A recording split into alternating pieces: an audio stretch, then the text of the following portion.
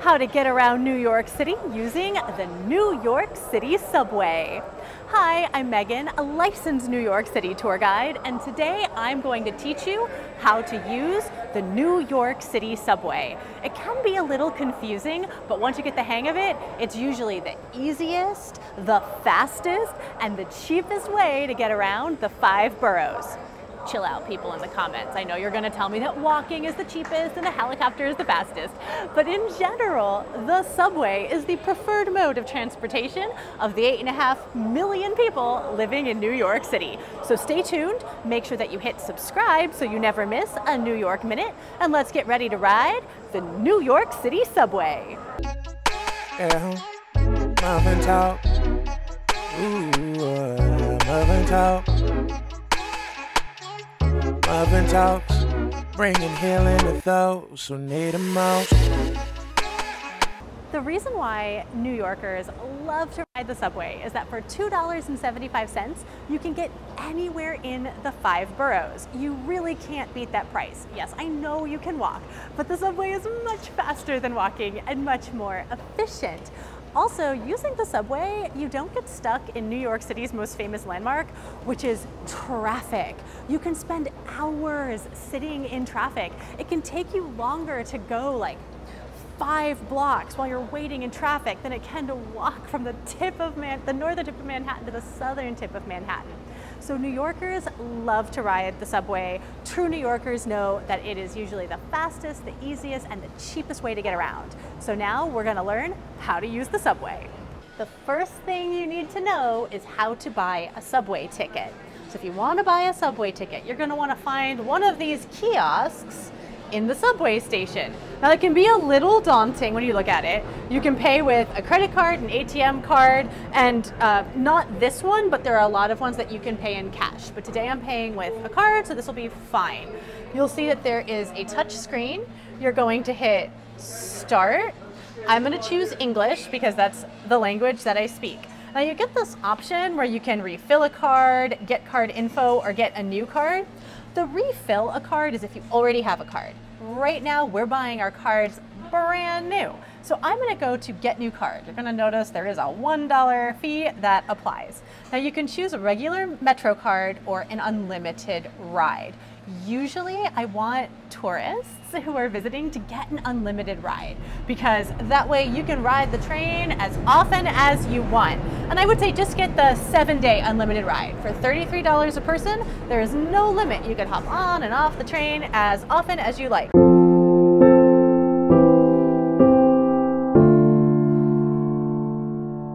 So you would select seven day and then you select your method of payment and then you would dip your credit card.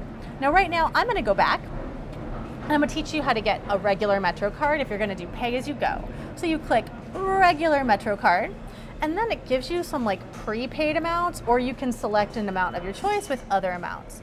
Right now, I'm gonna select the, the lowest amount of the prepaid amount, which is $5.50. It says, how would you like to pay? Credit card, and then I'm going to dip my credit card. So when they say dip, it is typically a pretty fast thing. Uh, I'm gonna hide my zip code so you don't see where I live. Bum, bum, bum. All right, and then it says, I will be charged $6.50. That's because there's that extra dollar because I'm buying a brand new Metro card. I click OK, it says processing payment, and then when it's processed, it's gonna pop out right here. And I am a card carrying New Yorker. Here we are standing in front of a subway map. It shows you all of our subway lines. It kind of looks like someone threw spaghetti at the wall, um, but we're gonna make sense of that. And you'll also see how the subways cover all five of our boroughs here in New York City. You have the Bronx, you have Queens, you have Brooklyn, you have Manhattan, that's probably where you're gonna spend most of your time if you're visiting from out of town, and then you have Staten Island. Staten Island, it kind of cheats. You have to take the Staten Island ferry to get there. It's absolutely free. Watch my video on the Staten Island ferry to learn how to do that. Now, when you're looking at this map, one of the first things that I want you to know is whether or not you are going north, or in New York speak, that is uptown, or south. In New York speak, that is downtown. If you know whether or not you're going uptown or downtown, that's really going to help you.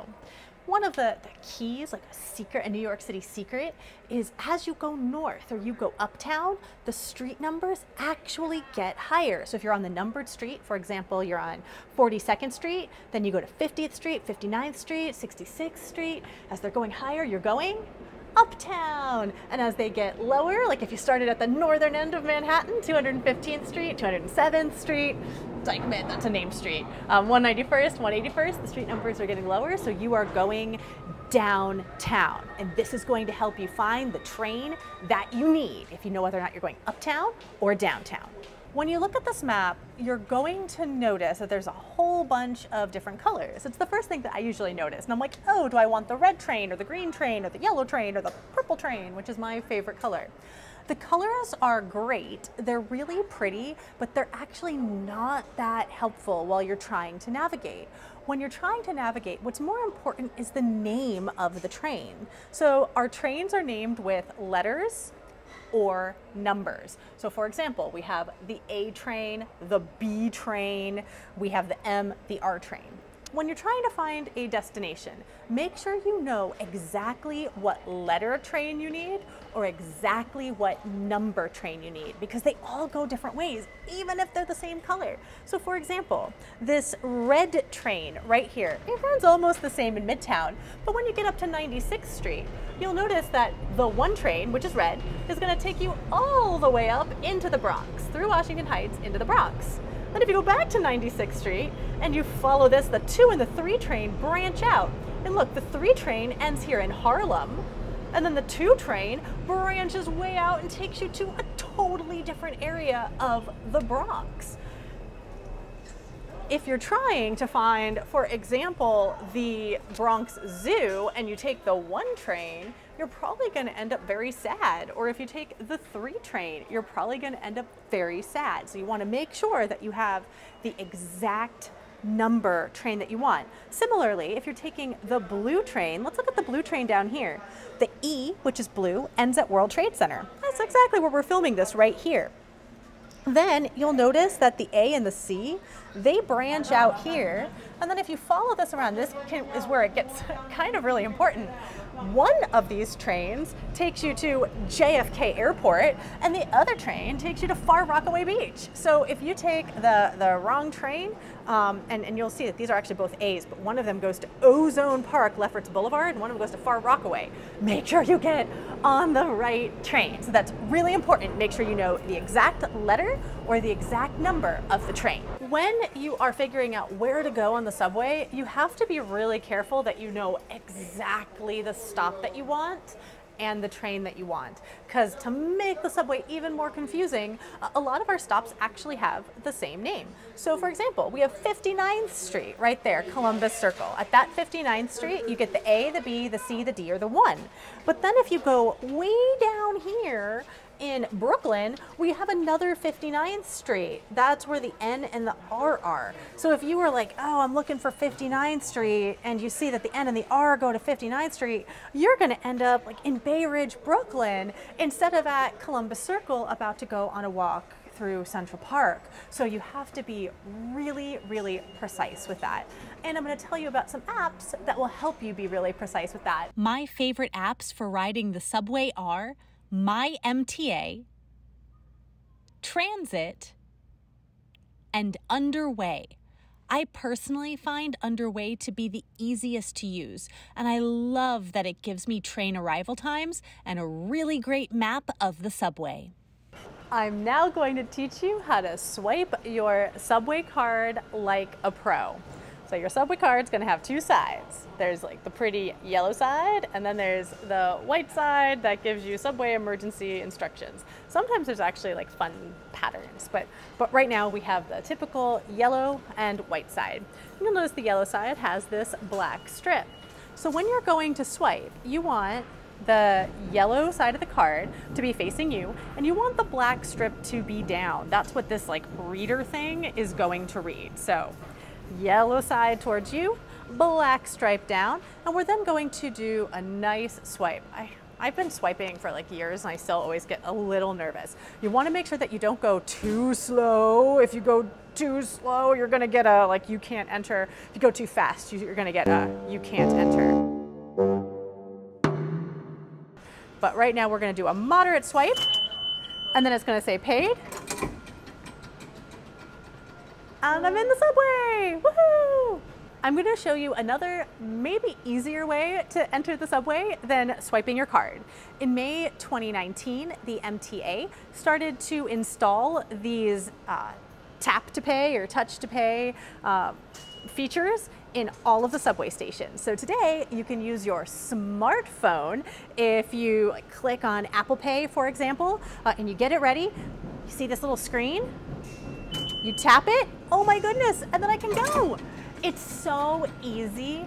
I love it. The one downside is you can't get like a monthly pass or a week pass. It is pay as you go, but I almost always have my phone in my hand. So it's really easy to click, to pay. It's fast in and out, and you don't have to deal with any of those like swiping problems. So Yay, MTA, technology! Pro tip, whether or not you're paying using your phone or a card, do not just like chill out here. This is not the place to check your texts or to figure out, like open up your subway card or anything, people are going to get angry at you because you are blocking the entrance. You do not want that. You want your, your phone to be ready to go, get the payment ready, uh, enter this, and you're just like, I'm in. Have your card out. Don't be like fumbling through your bag. Have your card ready, swipe and be in. And then New Yorkers are going to love you because you're going to be experiencing New York like a local. One of the really cool things that I love about the New York City subway system is that it's always, well, it's 2021 right now, and in 2021, it's always $2.75 to ride the subway. This means that you could go literally anywhere in the five boroughs of New York City for $2.75. We don't have zones like a lot of other cities. They'll have zones where like if you're traveling a couple of blocks, it's one price, and if you're traveling further, it's another price, and even further, it's another price. Not the case. Always $2.75 for a single ride on the subway. This also means that when you are exiting the subway, you don't need your card. You don't need to swipe your card again. So after you swipe your card, you go through those turnstiles, put your card away, put it in a nice, safe space. Um, I have noticed if you put it by like a magnet, so like if your purse, for example, has a magnet to close it, sometimes that can deactivate the stripe. So you don't want to do that. You don't want to fold your card, then your card won't work. Make sure that your card is nice and stored perhaps in a wallet, but put it away because you don't need it to exit the station. $2.75 you anywhere in the five boroughs. It's awesome. This is a very different looking subway map. I don't see a lot of subway maps that look like this um, in our subway system, but it's a cool map. And I wanted to point out that when you swipe your card, that $2.75 also allows you to transfer. So you can transfer um, to any train as long as it's in the same station. So for example, here at Times Square 42nd Street, you have a lot of trains that you can that you can get to. So you can get to the A, the C, the E, the N, the Q, the R, the W, the 1, the 2, the 3, the 7, and also the S, the shuttle train um, from 42nd Street. And that $2.75 covers the transfer. So that's really cool. Um, another thing to just mention is when you look at this map, uh, the reason why kind of looks like. It doesn't make a lot of sense. Like, what was the one person thinking when they planned out this map? Um, it wasn't one person. All of these lines used to be owned by different companies. So we'll talk more about that in another video about the history of the subway system and the MTA, but just wanted to point that out if you're looking at it going, hmm, this is really confusing. But we'll unconfuse it for you. We're going to head down to the 203 train here at Fulton Street, and I'm going to show you something about uptown and downtown. So as we walk down the staircase, you'll notice, you'll see uptown and downtown. Remember, you have to know which one you are going to. So the uptown will be on my right-hand side right here, and the downtown will be on your left-hand side. You want to make sure that you get the right one. If you're going downtown, you're going to want this train approaching right here.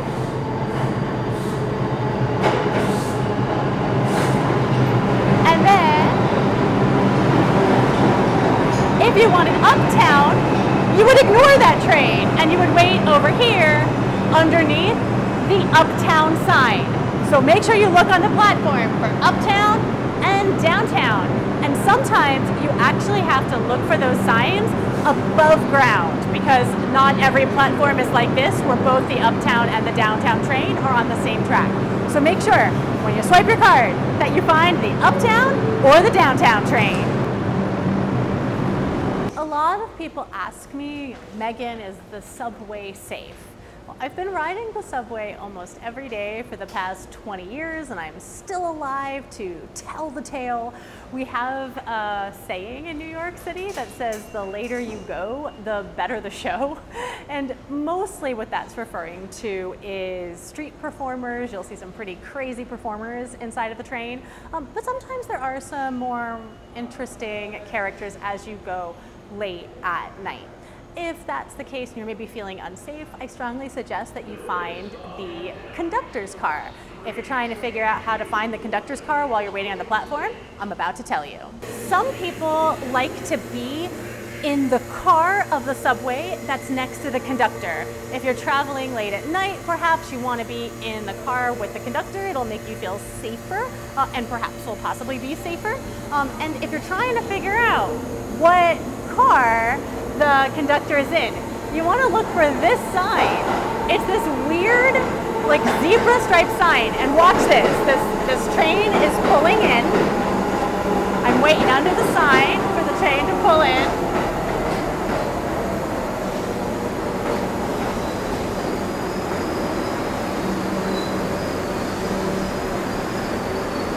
Conductor car! And I don't know if you noticed, but he um, actually very quickly pointed towards the zebra sign. That's something that they're supposed to do at every stop to make sure that the conductor is paying attention. If you want to be a true New Yorker, when the subway pulls into the station, uh, when the doors open, as like you're waiting for the doors to open, you want to make sure that everybody gets off the train before you get on. It is way easier to get on the train um, after everybody else has gotten off. And trust me, I know how much like every New Yorker has their favorite seat. If their favorite seat is open, they want to run on the train and grab it, or if there's any seat at all, they want to grab it.